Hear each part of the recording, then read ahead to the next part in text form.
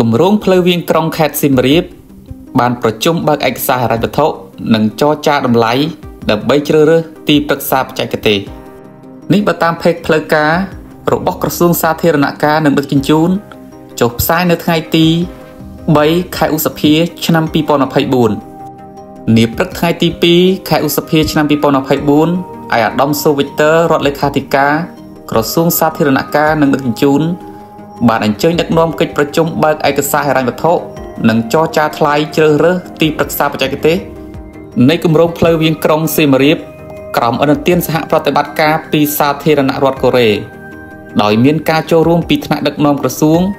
តំណាងក្រុមហ៊ុន ទីប្រឹក្សាបច្ចេកទេសនិងមន្ត្រីបច្ចេកទេសជំនាញពាក់ព័ន្ធក្រោមអាវ៉ាត់ក្រសួងជាច្រើនរូបគម្រោងផ្លូវក្រុងសៀមរាបនេះមានប្រវែង 45.77គីឡូម៉ែត្រចាប់ផ្ដើមត្រង់ចំណុចគីឡូម៉ែត្រលេខ291បូក500លើកំណត់ផ្លូវជាតិលេខ